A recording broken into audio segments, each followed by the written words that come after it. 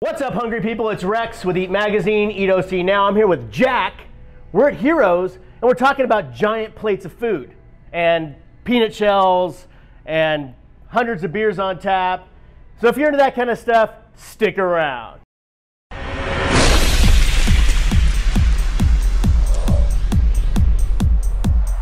I had some black and white photos of my parents, and, and I realized that, you know what? Heroes just popped into my mind because my parents are my heroes. And that's kind of where the name came from. As I know now that I've had three grown children, you know, it takes a lot of work. And so the average, I think the average person is a hero, just raising kids and getting through life. So that's yeah. where the name came from. Let's talk about food, Jack. You've got this crazy menu. The meatloaf, it was actually Dudley Moore's recipe, the movie star. I actually got it out of a magazine in the dentist office one day. We made it and just said, hey, we got to put this on our menu. You can also have chili put over the top of it. Then our chili, Bud's famous chili, Bud was an old customer of ours. I said, Bud, you got to come down and make your chili for me and we've had that chili for 28 years. And then all the burgers, just everything's just awesome on the menu. So why giant plates of food, Jack? We got that kitchen opened up. I said everything's got to be big. Everything's got to be big, Texas style, and uh, it just it just grew from there. And so once you start, you can't stop. Yeah. okay, so that might be something you might rethink if you went back to the beginning. Huh? A little bit, a little bit, yeah, maybe okay. a little bit. The huge glasses here. I mean, there's nothing small about Heroes. No. Right? And you have gigantic glasses of water. Soda, water, iced tea, correct. Why? What's what's up with that? Uh, that was decided on one of my employees. I stepped out for a moment, uh, probably the first year we were opened up, and I walked back in. I go, Haka, wh why do we have the big glassware out? And he said because we are so busy, I couldn't get back to refilling the sodas and waters on certain tables. So I just figured, you know, this would be easier for us. And so since that day, I said, okay, everything comes in big glassware. We have 129 handles we're pouring at all times 119 different flavors of beer. So what's your favorite beer, Jack? Uh, Sierra Nevada Pale Ale, right out of Chico State, basically one of my all-time favorites. Let's check your beer pouring uh, skills. Yeah. Are they as good as your bartenders? Absolutely. Cheers to you, Rex. Cheers to you, buddy.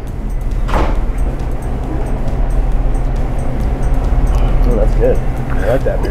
We got opened up and, and the kitchen was running a little bit slow and I go, I got to give the customer something to do while they're waiting. And so the peanuts came about and it just, it grew from there. How many peanuts do you go through on an annual basis? 20, 30,000 bags a year, about 60.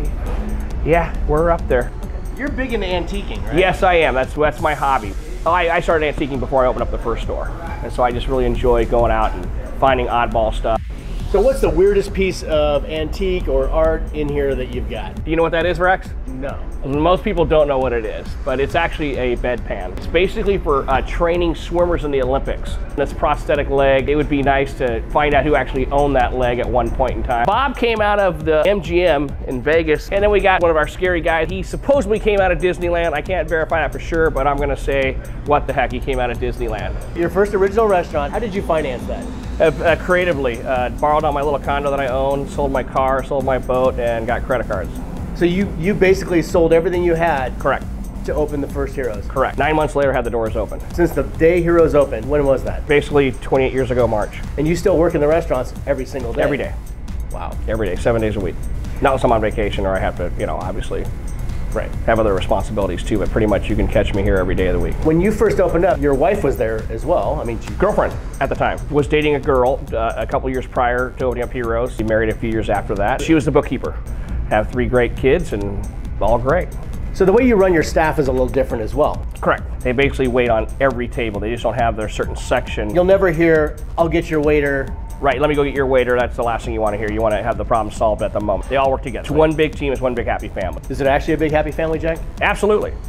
We have a very low turnover here. Oh yeah? Absolutely. You got people that have been working here for 28 years.